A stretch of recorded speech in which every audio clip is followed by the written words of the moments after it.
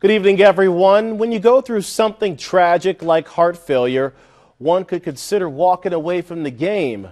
Porta AC's Nick Atterberry wouldn't let something like that stop him from competing his senior season.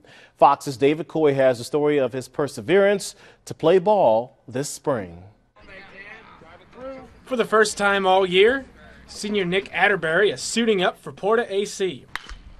It really feels awesome to be able to come back and play. I mean, there's a little rust. I sometimes feel a little bit out of shape, but really I just feel like just my normal self playing. Really. Last year on June 7th, his heart stopped beating during a summer basketball game.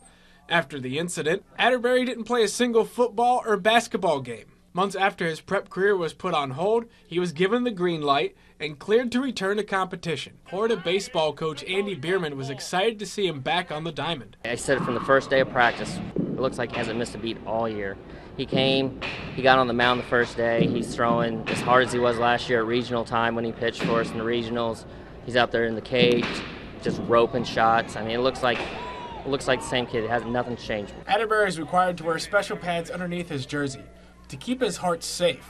He says it doesn't totally affect his mobility. At first, it's really not too bad, but over the where the game, it gets kind of a little bit heavy on me, and I get a little sore. Like it's worse after the game; it's a little sore, but during the game, I I don't like to think I have any problems with it at all.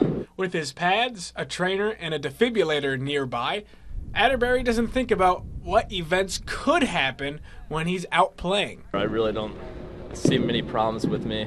I mean, I have it worried in the back of my mind, but it's it's really not significant or anything just because I know I have protection here. Coach Bierman says he thinks it was important for the team to have Atterberry back. It was great for Nick to be back and get to do this his senior year, but for this group to have him around, it, it's really good. The kids, you know, this is my third year coaching and the fourth year altogether for for the co-op, and the kids really look out for each other and take care of each other. Atterberry hopes to have a great season this spring.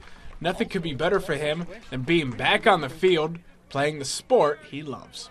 In Petersburg, David Coy, Fox News at 9.